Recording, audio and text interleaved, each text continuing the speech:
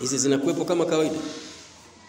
Kipindi cha ibada ya hija, ibada zingine kama swala zingine zinaendelea kama kawaida. Ibada ya kusoma Qur'ani zinaendelea kama kawaida. Swala ya dhuhuri itasaliwa, swala ya alasiri itasaliwa kwa siku zote, isipokuwa kuna baadhi ya siku kuna kukusanya kati ya dhuhuri na alasiri, magharibi na isha, ambazo zote tutakuja kuziona, lakini swala zipo swala zipo kama kawaida. Swala tano hazijawahi kuondoshwa kwa sababu yoyote. Hata siku ya Idi, bahati mbaya, kuna mafumu moja ambayo si sahihi kwamba ikitokea uh, Idi imeangukia siku ya Ijumaa kwamba watu wana hiari wana hiari kusali Idi afu wasisali Ijumaa, au wana hiari ya kusali vyote viwili, wakasali Idi alafu tena wakakusanyika kwa ajili ya Ijumaa. Nimesema bahati mbaya, kuna watu wamefahamu tofauti kwamba ukisali Idi hakuna hata dhuhuri, kinachoondoka ni Ijumaa, lakini sio adhuhuri. Adhuhuri ipo. Ndio maana nasema hizi swala tano hazijawahi kuondoka hata siku moja kwa sababu yoyote. Kwa hiyo ikitokea siku ya Idi imeangukia Ijumaa, maana yake tutasali Idi, tunayo hiari. Tukiamua kusali na Ijumaa, sawa, tutasali na Ijumaa. Tukiamua Ijumaa tusali, maana yake tutasali adhuhuri tukiamua. Na wakati mtume anaelezea ili akasema sisi tunasali zote. Mtume alisema hivyo. Atakayetaka asali Idi tu asisali Ijumaa, maana kitasali adhuhuri. Na atakayetaka atasali Ijumaa na atasali adhuhuri. Sisi tunasali zote. Mtume alisema hivyo na ndivyo alivyofanya. Kwanza umesema maana anaiona kama umra ni ibada ndogo. Ibada ndogo kwa maana hiyo anayoiona yeye si sahihi, lakini kwamba umra ni ndogo kuliko hija kwa maana ya zile harakati, mambo, hata malipo, hilo ni sawa, liko hivyo. Umra ni ndogo kuliko hija, na ndio maana tulisoma huko nyuma kwamba sahaba mmoja aliuliza, umra nayo ni, ni lazima? Mtume anasema si lazima, lakini ukifanya umra ni bora, lakini hija ni lazima. Kwa hapo kweli zinatofautiana, hija inazidi umra, lakini kwa maana hii kwamba mtu haachi matendo ya hovyo kwa sababu ibada aliyofanya ndogo anatarajiaje ifanye kubwa. Akifanya kubwa ndio ataacha kabisa, ili haliko sawa ili aliko sawa, lakini si, si katika hizi ibada mbili tu, hata zingine zote, hata swala za kila siku, kwamba mtu anaendelea mpaka siku nikifanya hija inshallah ndio nitaacha na mwingine yote. Hapana, hii ili aliko sawa. Umra haina maana ya udogo kwa maana hiyo kwamba ukifanya umra basi haya mengine uendelee kufanya mpaka ukifanya hija, sasa ndio usifanye mengine. Na tulisoma kule nyuma haju mabrur, ikatafsiriwa haju mabrur maana yake nini? Ni ile hija ambayo athari yake inambadilisha mtu, mambo aliyokuwa akiyafanya kabla ya hija anaachana nayo, yale ambayo hayafai ana ya, maki hija imembadilisha kabisa. Hiyo ndio hija mabrur. Anaweza kuwa Muislamu lakini sio muumini, kwa sababu hizo ni katika nguzo za imani, sio nguzo za Uislamu. Kuna nguzo za Uislamu na kuna nguzo za imani. Kwenye kuamini mitume na malaika, hizo ni nguzo za imani. Maana yake ukavunja nguzo za moja kati ya nguzo za imani Sijui unaelewa. Kuamini utume na unabii wa mtu yoyote baada ya Mtume Muhammad sallallahu alaihi wasallama, maana yake wewe unavunja moja kati ya nguzo za imani. Anaweza kuwa akabaki katika Uislamu wake na akatekeleza mengine yote akaswali nini, lakini kwa kuamini hilo anakuwa sio muumini. Kuna tofauti kubwa muumini na Muislamu. Siku moja Mtume sallallahu alaihi wasallam akaulizwa, ayakunu almu'minu ayakunu almu'minu jabbanan, muumini anaweza kuwa muoga? Uoga sio sifa nzuri, lakini anaweza kuwa muoga. Mtume anasema naam. Maana yake uoga huondoshi sifa ya imani, anabaki kuwa bado ni muumini hata kama ni muoga. Akaulizwa swali la pili, ayakunu almu'minu bakhilan, muumini anaweza kuwa bakhili? Sio sifa nzuri na mtu kuwa bakhili, lakini Mtume akasema naam anaweza kuwa muumini lakini akawa ni bakhili, japokuwa sio sifa nzuri. Alipoulizwa yakunu almu'minu kadhaban, akasema la, muumini anaweza kuwa muongo, vitu vile vikutane hata siku moja. Kuwa muongo afu muumini, utabaki kuwa muislamu tu, lakini sio muumini. Sio, imeeleweka shehe? Kwa hiyo bado ni muislamu lakini sio muumini.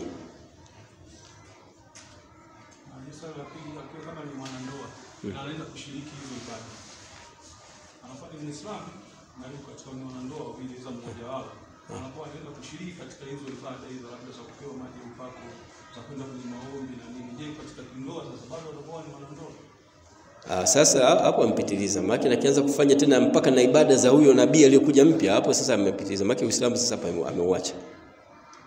Sio imani tu. Kwanza mimi nifikia ameamini kwamba huyo ni nabii, lakini sasa mpaka anamfuata na anatekeleza imani yake, hapo sasa imani ameiacha. Sio na, na Uislamu wenyewe kaukaga.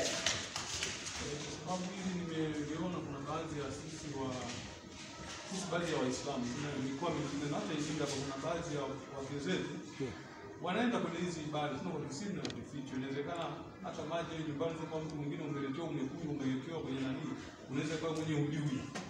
Wengi wao wanaenda tunawaona. Sasa ni kama Mungu kuuliza shehe kwa kile kidogo. Ah, Hilo halipo sawa. ndoa bado inakuwepo ndoa kitu chake cha kwenda kule. Kuchukua na maji maana ndio kushiriki hizo ibada. Je, bado nasikia kwa Uislamu na ndoa hapa je, ipo ndoa kama ndoa? Na kwanza umezungumza vitu viwili, wengine wanakwenda huko hata hatujui na maji wanatuletea unakunywa. Kama hujui hilo ni wewe ni maadhuru, lakini imefikia unajua, hilo mtu mwambie kabisa, kwa- wewe unatoka katika Uislamu, na kitendo cha kutoka katika Uislamu hata ndoa inavunjika.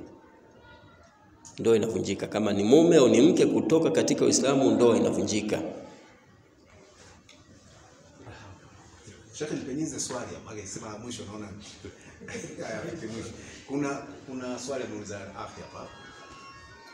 Uh, asiyekuwa Muislamu anapokuwa Muislamu anatamka shahada. Naam.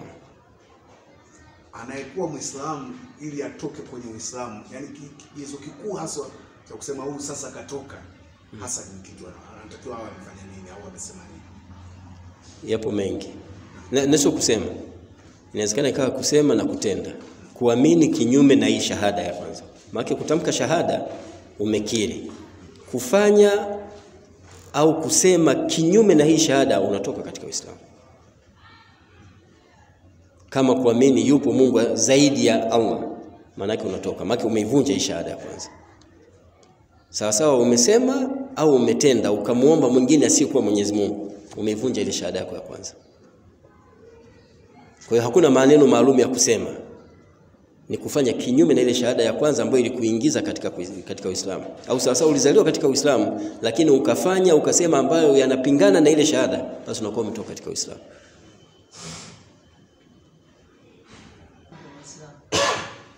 Umeoa katika familia ambayo sio Waislamu, yule uliomuoa ndio Muislamu, kwa maana umemsilimisha.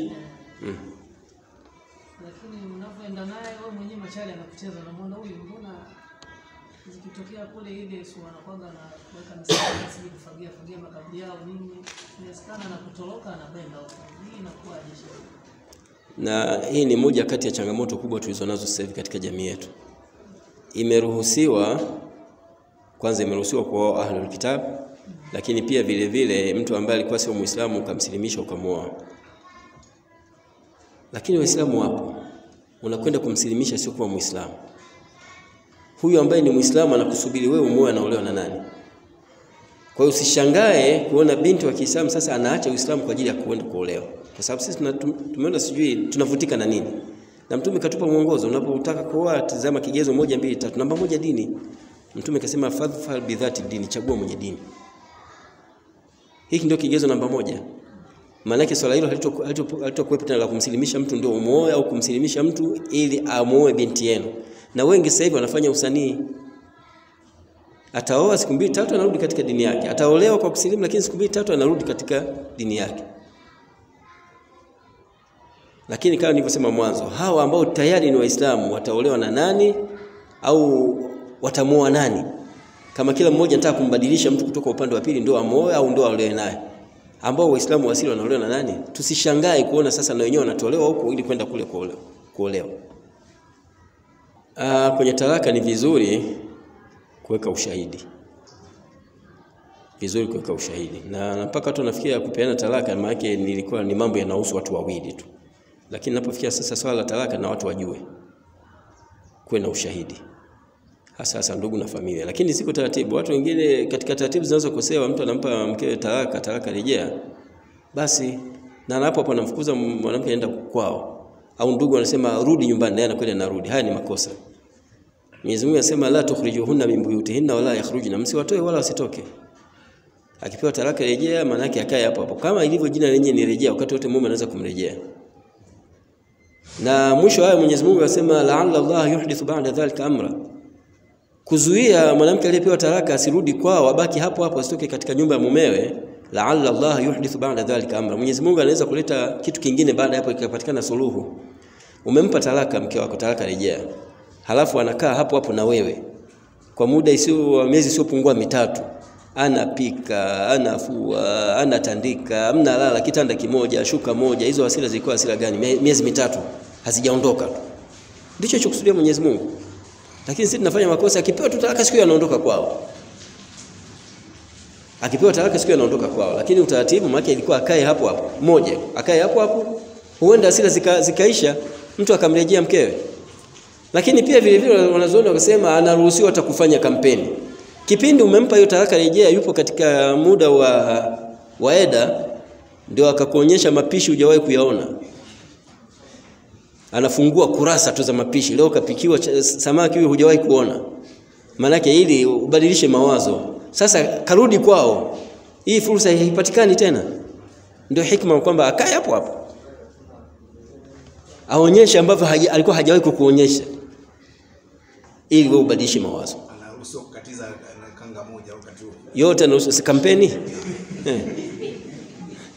Sheikh wangu kafurahi kweli anaenda bafuni kuoga nguo alishazitoa huko chumbani zamani. Na wewe uko hapo hizo hasira zako unajidai na kitabu hata kuona zitaisha tu hizo hasira. Naam waalaikum salaam. Nilikuwa naomba ufafanuzi kidogo kwenye ishu ya josho uh, especially la janaba. Je, uh, mtu akiji akiwa anajitoarisha na janaba, mathalan kwa mfano kwenye swala ya asubuhi, kuna umuhimu yeye kutawadha tena au josho lilikuwa limetosha? Ah, tofauti. Kutawadha na kujitoharisha na janaba ni vitu viwili tofauti, japokuwa katika kutawadha, katika kuoga janaba ni sunna kutanguliza udhu. Unatawadha udhu wa kawaida, ule udhu wa swala, halafu ndio unaoga mwili mzima. Baada ya hapo unatawadha tena? Unatawadha tena, Unatawadha. tena. Naam, naam. Mimi liko kwanza la, la, la, la, kwanza kuhusiana na hilo la janaba. Kwa mfano ni sunna kama ulivyosema kuwa eh, kabla ya kuoga basi nikatawaza, basi nikatawaza vizuri vizuri wote, baadaye labda nikaoga ile janaba, sijagusa yani sehemu yoyote katika eh, vile ambavyo vinabatilisha uzu. Utatawaza tena baada ya kuoga. Ah, Sasa kama hujagusa maana uzu hujatenguka, unaruhusiwa kutotawadha tena, lakini ikitokea na taratibu zenyewe, kwanza hata ugaji wa janaba eh, kwa maelezo ya hadithi ya Mtume sallallahu alaihi wasallam kwamba alivyokuwa akioga janaba, kwanza alikuwa akiosha sehemu zake za siri, halafu ndo anatawadha, halafu sasa ndo anaoga kwa zile taratibu za kawaida. Utaanza kichwa upande wa kulia na mwili mzima maana yake na maji afike sehemu zote katika kuoga. Sasa ukipitisha mkono sehemu zote, maana yake udhu utakuwa haupo tena hapo. Sasa labda hiyo katika sura ambayo umesema kwanza ulianza kuosha sehemu hizo, lakini baada ukichukua udhu hukugusa tena sehemu hizo, maana yake udhu utakuwa bado upo. Japokuwa ile nalo pia vile vile kuna hadithi mbili tofauti kwamba ukishika sehemu hizo udhu unakuwa umetenguka. Wengine hadithi nyingine sema hapana, mbona ni kiungo kama viungo vingine, udhu hautenguki. Lakini hadithi yenye nguvu ni kwamba udhu unatenguka kweli ni kiungo kama viungo vingine, kama vile ukishika sikio, lakini sikio watu wakiliona kuna tatizo, lakini sio kiungo hicho. Kwa hiyo havifanani kwa namna fulani. La pili ni kuhusiana na swala zima la mambo ya talaka, kama sisi imekuwa ni changamoto kubwa sana na kujivua.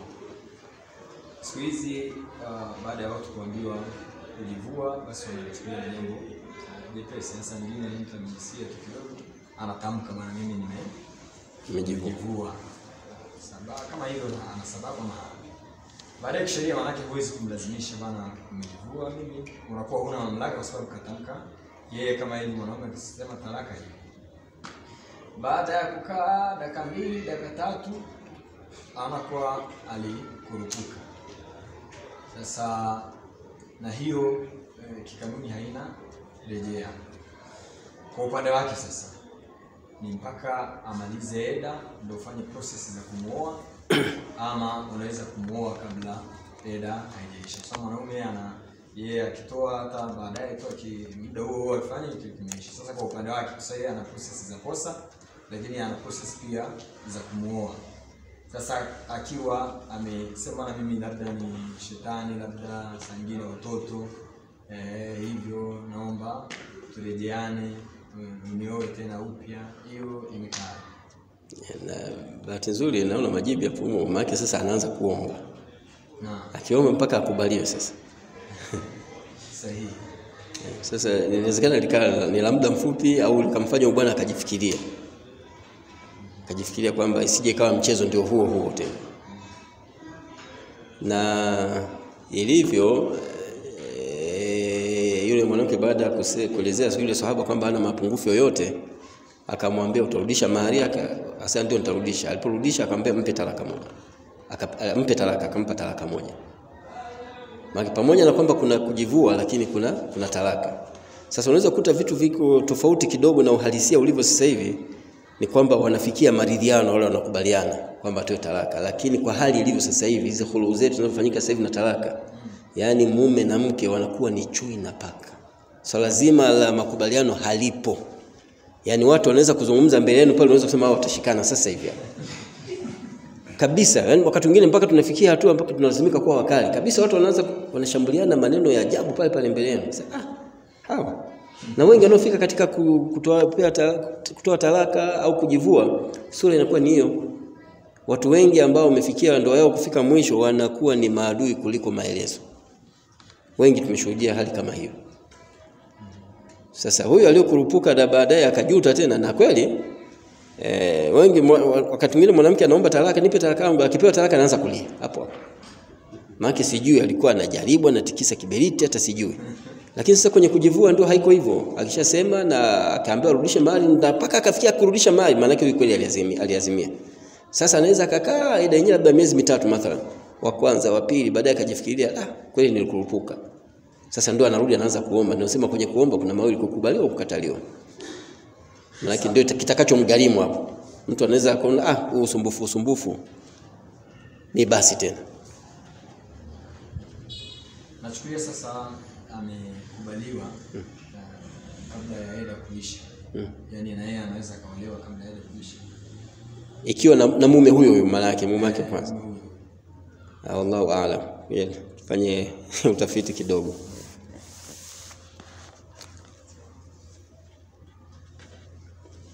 Je, moja swali la bwana kwa ustazi hapo. Sasa kama je amerudi process za ndoa sasa ni unaanza tena upya au ni vile vile Ndio zinaanza upya kwa sababu alirudisha na mahari. Kwenye kujivua mwanamke anatakiwa arudishe na mahari. Kwa hiyo kama alirudisha na mahari maana yake process zinaanza upya.